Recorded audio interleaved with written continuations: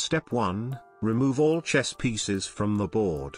Step 2, place checker pieces onto the board and make sure there's no chess pieces on it, unless you want to install checkers. Step 3, you finished uninstalling chess and installed checkers. Now ask someone to tell you what game this is. Hello Queen. Hey Brian. Can you tell me what game this is? Sure, it's checkers on a chessboard. Okay, chess uninstallation is successful.